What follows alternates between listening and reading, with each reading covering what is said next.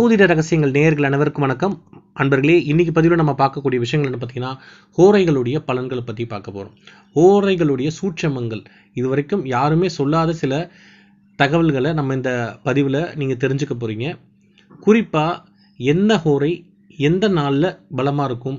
இப்போ பொதுவாக வந்து எல்லாருமே சொல்லுவாங்க சுக்கரஹோரைனா எல்லாமே வந்து நல்லது அப்படின்ற மாதிரி விஷயம் தான் எல்லாருக்கும் தெரியும். சரி சுக்கர உரைனா நல்ல உரை தானே அப்படின்னு சொல்லிட்டு அந்த சமயத்தில் போய் சுக்கர உரையில் போய் நம்ம நகை வாங்குறது பணம் போடுறது அப்புறம் விஷயங்கள்லாம் சில பேர் பண்ணுவாங்க. இல்லை குரு உரையில் கூட மாதிரி பண்ணுவாங்க. ஆனால் சுக்கர உரை எல்லா நாளுமே வந்து நல்ல பலன் தராது. அது ஒரு சில நாட்களில் அது ரொம்ப கெடுதலான பலன்களை தரக்கூடியது. எது எது சுப உரை எது எதெல்லாம் அசுப உரை எந்த நாளில் எந்த உரைகளை எது செய்யக்கூடாது அப்படின்ற விஷயங்கள் ஃபுல்லாக சொல்ல போகிறோம் அதே போல் ஹோரைகளுக்கும் மனுஷங்களுக்கும் எப்படி தொடர்பு அப்படின்ற விஷயங்கள் எல்லாத்தையும் இந்த பதிவில் நீங்கள் முழுசாக தெரிஞ்சுக்க போகிறீங்க ஸோ ஹோரையை பற்றி இன்றைக்கி இந்த வீடியோவில் ரொம்ப தெளிவாக வரப்போகிறதுனால வீடியோவை ஃபைனல் வரைக்கும் பார்த்தீங்கன்னா தான் உங்களுக்கு அந்த தெளிவு முழுசாக கிடைக்கும். ரெண்டாவது ஒரு பென் பேப்பர் எடுத்து வச்சுக்கோங்க. சில அசுப உரைகள் சுப உரைகள் பற்றி இதில் நான் சொல்கிறத நீங்கள் குறித்து வச்சுக்கோங்க. தினசரி அந்த டேபிள் படி நீங்கள் ஃபாலோ பண்ணிங்கன்னா அது வந்து உங்களுக்கு பெரிய சக்ஸஸை கண்டிப்பாக கொடுக்கும். எந்த ஒரு காரியத்துக்கும் எந்தெந்த உரையில் என்னென்ன செய்யலான்ற விஷயங்களும் நான் சொல்லிடுறேன். ஸோ ஒரு கம்ப்ளீட்டாக ஓரைகள் பற்றி எல்லா விஷயமும் இந்த வீடியோவில் உங்களுக்கு தெரிஞ்சிட போகுது. சரி முதல்ல வந்து நம்ம இந்த சுப ஓரை அப்படின்னு சொல்லும்போது யார் யாரெல்லாம் அந்த சுப ஓரைகள் அதுக்கு வந்து அதிபதி என்ன கிரகங்கள்லாம் சுப உரைகளில் சொல்கிறாங்க எதெல்லாம் அசுப உரைகளில் சொல்கிறாங்க அப்படின்ற விஷயத்தை தெரிஞ்சுக்கோங்க. சுப உரைகள்னால் எது எதுன்னு பார்த்துக்கோங்க. குரு சுக்ரன் புதன் சந்திரன். இது நாலு தான் வந்து சுப உரை இதை நோட் பண்ணி வச்சுக்கோங்க. அடுத்தது அசுப உரைகள் அது யாருன்னு பார்த்தீங்கன்னா செவ்வாயும் சனியும் வந்து அசுப உரைகள் அப்படின்னு சொல்லப்படுது. இதில் சூரியன் வந்து பார்த்தீங்கன்னா அசுப உரை கிடையாது. அவரை வந்து சுப உரையிலும் சொல்ல மாட்டாங்க. ஸோ அதனால் வந்து சூரியனை வந்து நீங்கள் அப்படி எதுலேயும் சேர்க்க வேண்டாம். இப்போது ஆஹ், கிழமைக்குரிய ஹோரா கிரகத்துக்கும் என்ன உறவு முறை என்பதை பொறுத்து தான் ஹோரையோட செயல்பாடு இருக்கும். அதாவது இந்த ஹோரையின் நுட்பங்களை தெரிஞ்சுக்கிறதுக்கு முன்னாடி இந்த சூரியனுக்கு வந்து எந்த கிழமையில எந்த ஹோரை செயல்படுறதுக்கு முன்னாடி ஓரைகளுக்கும் மனுஷனுக்கும் என்ன தொடர்பு அப்படின்ற விஷயத்தை நம்ம தெரிஞ்சுக்கணும். மனுஷன் வந்து மனிதன் காலத்தை சார்ந்தே அவனது ஒவ்வொரு நொடி பொழுதும் நம்ம கழிக்கிறோம் அவனது ஒவ்வொரு இயக்கங்களும் நிகழ்வுகளும் பார்த்தீங்கன்னா ஓராகிரகத்தின் தன்மையை பிரதிபலிப்பதாக இருக்கும். ஹோரா கிரகணத்தின் குணங்கள் செயல்பாடுகள் என்னவோ அதுவே அந்த ஒரு மணி நேரத்தில் ஃபுல்லாகவே ஓரையாக வெளிப்பட்டு வரும். மனுஷனோட மனநிலைமைக்கும் சூழ்நிலைக்கும் தன்மைகளுக்கும் ஹோராகிரகங்களுக்கும் ரொம்ப நெருங்கிய தொடர்பு இருக்கிறது சொல்லப்படுது. ஓராகிரகமும் வாராகிரகமும் இணைந்தே ஒரு சம்பவம் நடக்குதுன்னா இந்த ரெண்டு விஷயங்கள் இணைஞ்சு தான் அந்த சம்பவத்தை நடக்கும். அதாவது ஈவெண்ட்ஸ்னு சொல்லுவாங்க அது நடக்கும். இந்த ஹோரா கிரகத்தின் காரக நிகழ்வுகளை தவிர்த்து நம்ம அதை தாண்டி வர எதுவுமே நம்மளால் செய்ய முடியாது. அந்த அளவுக்கு ஹோரைகள் வந்து பார்த்திங்கன்னா ரொம்பவும் சக்தி வாய்ந்தது. கோள்களுடைய அதாவது அந்த பிளானட்ஸோடைய அந்த கதிர் அலைகள் காஸ்மிக் எனர்ஜின்னு சொல்லுவாங்க இல்லையா? அந்த கோள்களினுடைய கதிர் அலைகள் காற்றில் கலந்து மனுஷனுடைய மூச்சு காற்றாகிய அந்த சுவாசத்தின் மூலம் மனுஷனை தொடர்பு கொள்ளுது. இதனால தான் கிரகங்களுக்கும் மனுஷங்களுக்கும் ஒரு தொடர்பு உண்டு அப்படின்னு சொல்லுவாங்க. அந்த கிரகத்திலேருந்து வெளிப்படக்கூடிய அந்த கதிர்வீச்சுகள் மனிதனுடைய மூச்சு காற்றில் அது கலக்கும்போது நெருங்கிய தொடர்பு ஏற்படுது. நீங்கள் பிறக்கும்பொழுது அந்த நேரத்தில் இருக்கக்கூடிய அந்த கோள்கள் எந்தெந்த நேரத்தில் இருக்கோ அதோடைய சுவாசம் அதோடைய எனர்ஜி அதெல்லாமே சேர்ந்து உங்களுடைய இதில் இருக்கும். ஸோ அதனால தான் வந்து அந்த நீங்கள் எந்த ஓரையில் பிறந்தீங்கன்றதை வச்சு பல விஷயங்கள் சொல்ல முடியும். ஸோ அதெல்லாம் ரொம்ப நுட்பமானது. அதை அடுத்த பதிவில் நம்ம பார்ப்போம். மனுஷனை இயக்குவது வந்து பார்த்திங்கன்னா நம்மளுடைய சுவாசம் காற்று தான் இந்த காற்றினை சுவாசிக்கின்ற எந்த ஒரு மனுஷனுக்கும் கோள்களின் இயக்கத்திற்கு தான் அவன் ஈடு கொடுத்தே ஆக வேண்டும். ஒரு மனுஷன் ஒரு நாளைக்கு மூன்று வேளை உணவு சாப்பிட்றாங்க. ஆறு லிட்டர் தண்ணி குடிக்கிறதா சொல்லப்படுது. ஆனால் ஒரு நாளைக்கு இருபத்தோராயிரத்தி அறுநூறு தடவை வந்து பார்த்திங்கன்னா அவர் சுவாசிக்கிறாங்க. எனவே மனிதன் கோள்களின் கதிரலை அந்த ரேஸ் அவர்களுடைய உடம்பு ஃபுல்லாக நிரம்பி இருக்கு காற்றினை சதா மூக்கினால் சுவாசித்த வண்ணம் இருக்கிறான். மனுஷனை இயக்குறது மனம் மனிதனை இயக்குவது சுவாசிக்கும் காற்று காற்றினை இயக்குவது காலம் காலத்தினை இயக்குவது கால கிரகங்கள் கிரகங்களை இயக்குவது பரம்பொருள். ஸோ பரம்பொருளுக்கும் மனுஷனுக்கும் இடையில் எத்தனை விதமான பாலங்கள் இருக்குன்றதை நீங்கள் தெரிஞ்சுக்கோங்க. சரி இப்போ இந்த ஹோரா கிரகணத்துடைய வலிமை. அதாவது இப்போது கிரகங்கள் இப்போ வந்து தசாபுத்தி நடக்கலாம் இந்த மற்ற விஷயங்கள்லாம் இருக்கும். எது வலிமையானது? அப்படின்னு ஒரு விஷயம் இருக்குது இல்லையா? இப்போது காலத்தினை பொறுத்து வந்து பார்த்திங்கன்னா நம்ம எப்படி பிரிக்கிறோம்? வருடம் மாதம் வாரம் ஹோரை அப்படின்னு நாலு பிரிவாக இருக்குது. இதில் வருடாதிபதியுடைய பலன் அதாவது இந்த வருஷம் வந்து இந்த கிரகம் தான் உங்களை ஆட்சி செய்யும்ன்ற விஷயம் இருக்குது அது வந்து பார்த்திங்கன்னா கிட்டத்தட்ட இருபத்தஞ்சி பர்சன்ட் தான் வேலை செய்யும். அந்த கிரகத்தில் அந்த ஒரு ஒரு வருஷத்தில் இந்த மாதம் வந்து இந்த கிரகம் வந்து உங்களை ஆட்சி ஆட்சியில் இருக்கும். கிரகம் வந்து ஆண்டு ஆண்டு கொண்டு இருக்கும் அதோடைய பலன் வந்து பார்த்தீங்கன்னா ஐம்பது பர்சன்டேஜ் இருக்கும். இதில் இன்னும் சூட்சமமாக இறங்குனீங்கன்னா வார அதிபதியோட பலன். அதாவது இந்த நாள் கிழமை இந்த ஏழு கிழமை இருக்குல்ல அதோடைய பலன். அது வந்து பார்த்திங்கன்னா கிட்டத்தட்ட ஒரு எழுபத்தஞ்சு சதவீதம் வேலை செய்யும். ஆனால் ஹோரையோட பலன் வந்து பார்த்திங்கன்னா நூறு சதவீதம் அது வந்து வேலை செய்யும். ஸோ ஓரை அதிபதி அந்த அந்த நேரத்துக்கு யார் அதிபதியாக இருக்கிறோ அந்த அதிபதியோட பலம் வந்து பார்த்திங்கன்னா ஹண்ட்ரட் பர்சன்டேஜ் வேலை செய்யும். அதனால தான் வருடாதிபதி மாதாதிபதி வாராதிபதி இந்த ஹோராதிபதி அங்கே நாலு பேரில் வந்து பார்த்திங்கன்னா அதிக பலம் புரிந்தவர் யாருன்னா ஹோரா ஹோராதிபதி தான். அதனால தான் ஹோரைகளுக்கு வந்து பார்த்திங்கன்னா ரொம்ப முக்கியமான ஒரு இம்பார்ட்டன்ஸ் உண்டு. இப்போது இந்த ஹோரான்றது வந்து பார்த்தீங்கன்னா இந்த ஹோரா கிரகம் இப்போ இந்த ஒரு மணி நேரத்தில் என்ன கிரகம் போயிட்டு இருக்கோ அவர் சொன்னது தான் சட்டம். அது வந்து வந்து பார்த்தீங்கன்னா ஒரு முதலமைச்சர் மாதிரி ஒரு நாள் சிஎம் மாதிரி அந்த ஒன் ஹவருக்கு வந்து பார்த்தீங்கன்னா அவர் தான் வந்து அந்த இதை ஆண்டுக்கிட்டு இருப்பார் அது சரி அந்த நேரத்தில் வந்து பார்த்தீங்கன்னா என்ன ஓரை நடக்குதோ அந்த ஓரை எடுத்த மாதிரி நீங்கள் வேலையை செஞ்சிங்கன்னா அது உங்களுக்கு சக்ஸஸாக கொடுக்கும். எந்த நாளில் அந்த வேலை செய்யணுன்ற விஷயங்கள் உண்டு அதையும் நான் சொல்கிறேன் சரி இதுதான் ஓரையுடைய ஒரு பெரிய சூட்சமும். இதை நீங்கள் புரிஞ்சுக்கணும். ஏன் ஹோரை ஏன் இம்பார்ட்டன்ஸ்ன்றதுக்காக தான் நான் இவ்வளோ விஷயங்கள் சொன்னேன். சரி இப்போ பதிவுக்குள்ளே போவோம். இப்போ இந்த ஹோரை நுட்பங்கள் நான் சொல்கிறேன் இப்போ கிரகங்களின் நட்புகள் முதல்ல நீங்கள் தெரிஞ்சுக்கணும். கிரகங்களின் நட்புகள் யாருன்னு பார்த்தீங்கன்னா சூரியனுக்கு வந்து பார்த்தீங்கன்னா குரு செவ்வாய் சந்திரன் வந்து நட்பு. சந்திரனுக்கு வந்து பார்த்தீங்கன்னா குரு செவ்வாய் சனி நட்பு. இதை அப்படியே நோட் பண்ணிக்கோங்க. செவ்வாய்க்கு வந்து பார்த்தீங்கன்னா குரு சூரியன் சந்திரன் நட்பு. புதனுக்கு வந்து பார்த்தீங்கன்னா சுக்கிரன் சனி நட்பாக இருப்பாங்க. குருக்கு வந்து பார்த்தீங்கன்னா சூரியன் சந்திரன் செவ்வாய் நட்பு. சுக்கிரனுக்கு வந்து பார்த்தீங்கன்னா சனி புதன் வந்து பார்த்தீங்கன்னா நட்பு. சனிக்கு அதே போல் சனிக்கு வந்து பார்த்தீங்கன்னா சுக்கரன் புதன் வந்து நட்பு. இப்போ நான் வந்து ஃப்ரெண்ட்ஸாகவும் இருக்க மாட்டாங்க இனிமையாக இருக்காமல் நியூட்ரலாக இருப்பாங்க இல்லையா? அது யாராருன்னு பார்த்தீங்கன்னா சூரியனும் புதனும் வந்து பார்த்தீங்கன்னா ரெண்டு பேருக்கும் பகையும் கிடையாது நட்பும் கிடையாது. ரெண்டு பேரும் நியூட்ரலாக இருப்பாங்க. சந்திரனும் செவ்வாயும் பார்த்தீங்கன்னா நியூட்ரலாக இருப்பாங்க. செவ்வாயும் சுக்கரனும் பார்த்தீங்கன்னா நியூட்ரலாக இருப்பாங்க. புதனும் சூரியனும் பார்த்தீங்கன்னா நியூட்ரலாக இருப்பாங்க. குருவும் சனியும் நியூட்ரலாக இருப்பாங்க. சுக்கிரனும் செவ்வாயும் நியூட்ரலாக இருப்பாங்க. சனியும் குருவும் நியூட்ரலாக இருப்பாங்க. இதெல்லாம் ஏன் விஷயங்கள் இருக்குது அதனால் இதை நோட் பண்ணி வச்சுக்கோங்க. அதுதான் பின்னாடி வர்றதுல உங்களுக்கு ரொம்ப யூஸாக இருக்கும். இப்போ இந்த கிரகத்தோடைய பகை விவரத்தை பார்ப்போம். யாருக்கு யாருக்கு பகைன்னு சொல்லிட்டு. இப்போ சூரியனுக்கு வந்து பார்த்தீங்கன்னா சுக்ரனும் சனியும் பகை. சந்திரனுக்கு வந்து பார்த்தீங்கன்னா சுக்ரன் சனி புதன் பகை. செவ்வாய்க்கு வந்து பார்த்தீங்கன்னா புதன் சனி பகை. புதனுக்கு வந்து பார்த்தீங்கன்னா குரு சந்திரன் செவ்வாய் பகை. குருக்கு வந்து பார்த்தீங்கன்னா சுக்கரனும் புதனும் வந்து பகை. சுக்கரனுக்கு வந்து பார்த்தீங்கன்னா சூரியனும் சந்திரனும் பகை. சனிக்கு வந்து பார்த்தீங்கன்னா செவ்வாய் சூரியன் சந்திரன் பகை. இப்போ இது ஒரு இதுதான். இப்போ வந்து உங்களுக்கு வந்து நட்பு தெரிஞ்சிருச்சு சமம் தெரிஞ்சிருச்சு பகை யாராருன்னு தெரிஞ்சிருச்சு. சரி சார் இப்போ இது தெரிஞ்சிருச்சு. இதை வச்சு நம்ம என்ன பண்ண போகிறோம் அப்படின்னு பார்த்தீங்கன்னா வாராதிபதியும் ஹோராதிபதியும் ஒருவருக்கொருவர் பகையாக இருந்தாங்கன்னா அந்த ஓரை சரியாக செயல்படாது அப்படின்ற விஷயத்த நீங்கள் புரிஞ்சுக்கணும். எடுத்துக்காட்டுக்கு ஒரு விஷயம் சொல்கிறேன் இப்போ ஞாயிற்றுக்கிழமையில சுக்கர ஓரை வந்து பார்த்திங்கன்னா கண்டிப்பாக தவறை செய்யும். காரணம் சூரியனுக்கு வந்து பார்த்தீங்கன்னா ஒருவருக்கு ஒருவர் பகை. நான் முன்னாடி சொன்னேன் இல்லையா பகை கிரகங்கள் அந்த சமய அந்த இந்த இது பாருங்க. சூரியனுக்கு வந்து சுக்கரனும் சனியும் வந்து பகை. அதனால் வந்து அன்னைக்கு வந்து பார்த்தீங்கன்னா சுக்கர உரை செயல்படாது. இப்போ சூரியன்னா என்ன? ஞாத்திக்கிழமை ஞாத்திக்கிழமை போயிட்டு நீங்கள் போயிட்டு சுக்கர உரையில் போயிட்டு ஏதாச்சும் ஒரு சுக்கர உரையில் அந்த இடத்துல போய் எந்த சுக்கரம் சன் பற்றி எந்த விஷயத்தையும் செஞ்சாலும் சரி அது வந்து கண்டிப்பாக ஃபெயிலியர் படும். இந்த சுக்கர உரையில் என்னென்ன செய்யலாம் அப்படின்ற விஷயத்த நான் சொல்கிறேன் அப்போ அந்த விஷயங்களை அந்த சமயத்தில் செயல்படாது. அந்த சுக்கிர உரையில் நம்ம எதுவுமே செய்யக்கூடாது. சனி உரையிலும் அது செய்யக்கூடாது. ஓகேங்களா?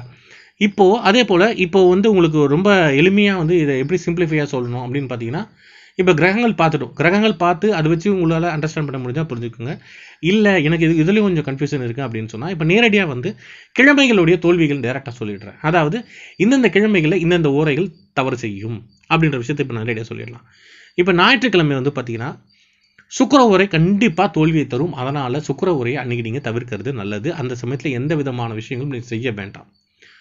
திங்கட்கிழமை வந்து பார்த்தீங்கன்னா சுக்கரனும் புதன் ஓரைகளும் சரியாக செயல்படாது. நல்லா நோட் பண்ணிக்கோங்க. திங்கட்கிழமை சுக்கரனும் புதன் உரையும் செவ்வாய்க்கிழமை பார்த்தீங்கன்னா புதன் ஓரை கண்டிப்பாக தோல்வியை தரும்.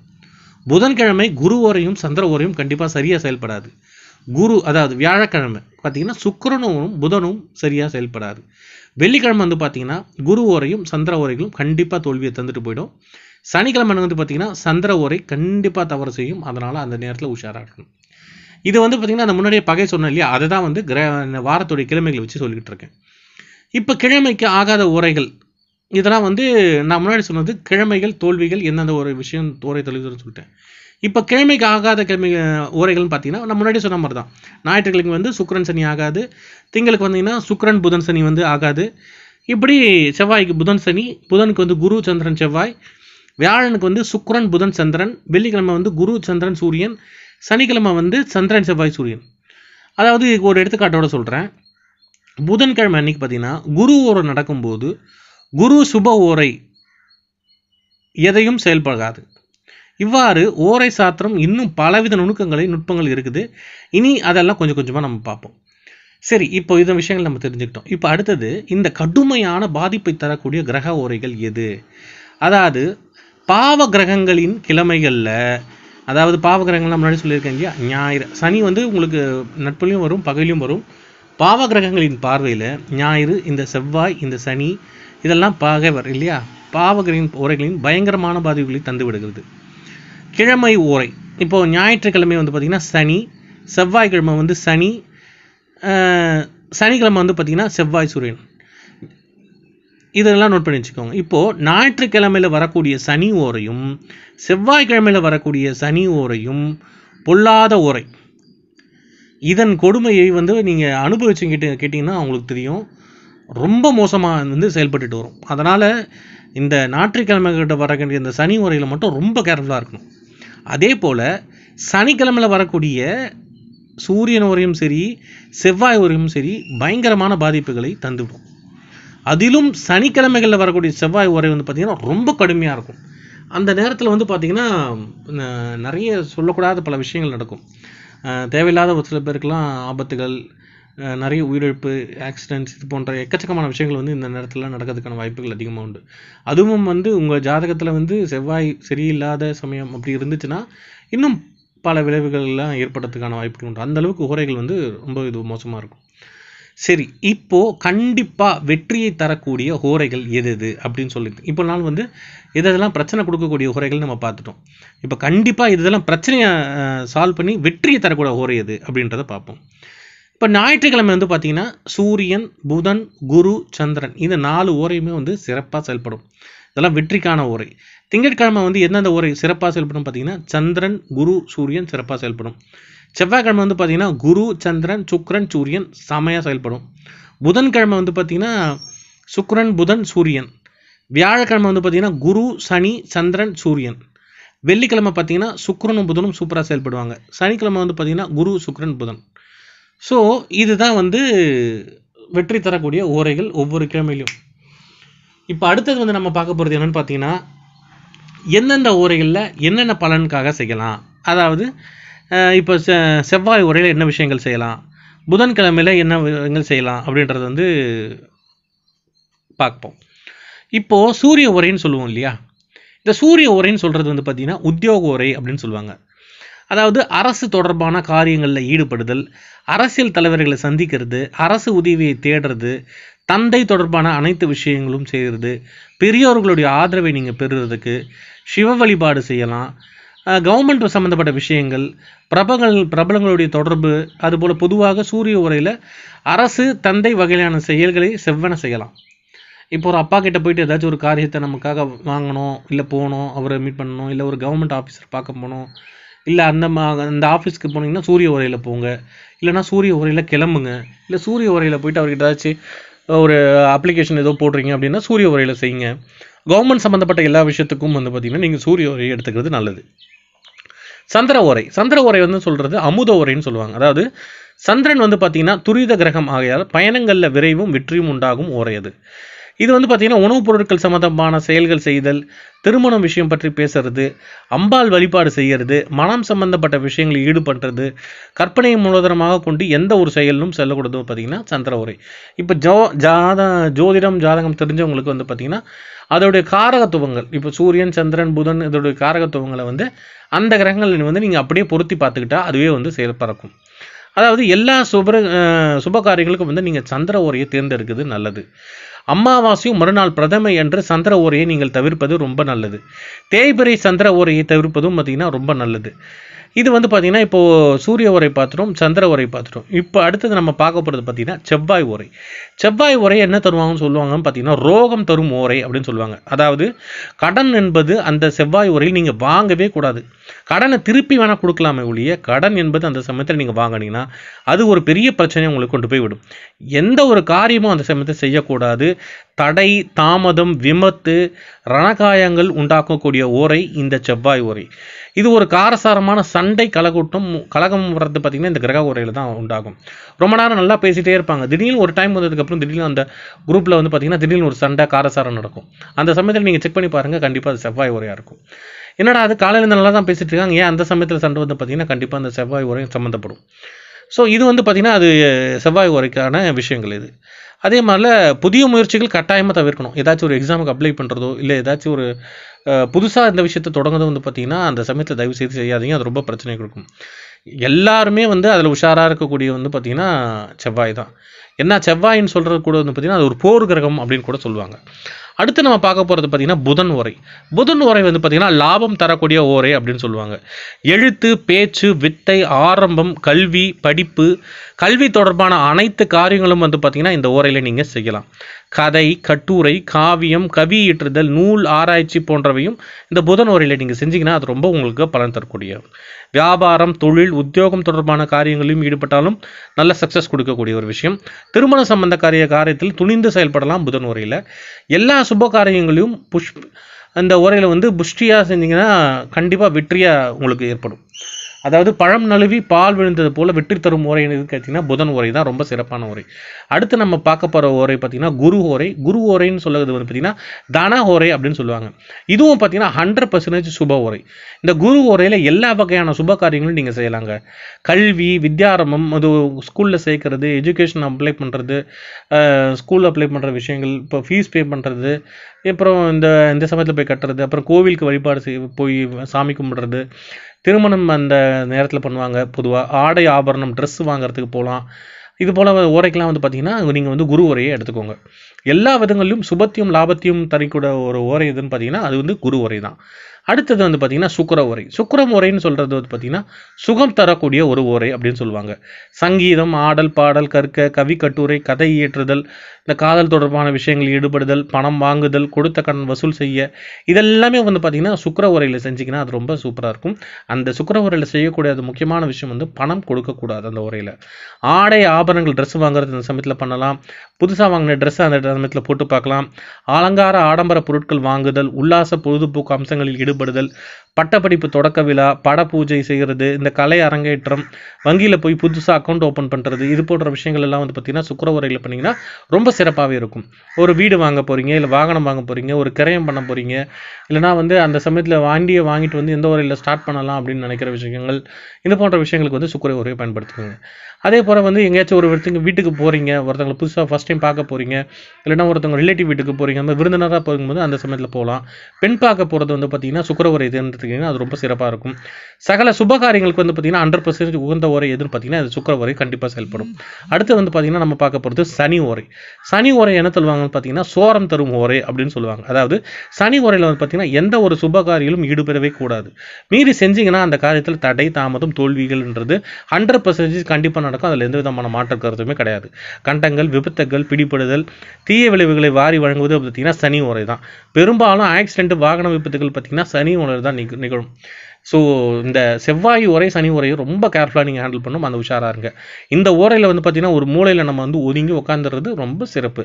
அந்த சமயத்தில் போயிட்டு நம்ம அப்போ தான் வந்து ஆஃபீஸ்க்கான இப்போ தினசரி செய்யக்கூடிய விஷயங்களை வந்து நம்ம எதுவும் பண்ணிக்க வேணாம். அதெல்லாம் அப்படி கண்டினியூ பண்ணலாம். ஆனால் வந்து இந்த புதுசாக வந்து ஒரு காரியத்தை தொடங்குறது வந்து பார்த்திங்கன்னா கண்டிப்பாக சனி உரையில் செய்யவே கூடாது. அதாவது இந்த சுவிட்ச் ஆஃப் பண்ண பண்ண மொபைல் மாதிரி நம்ம ஆயிடணும்.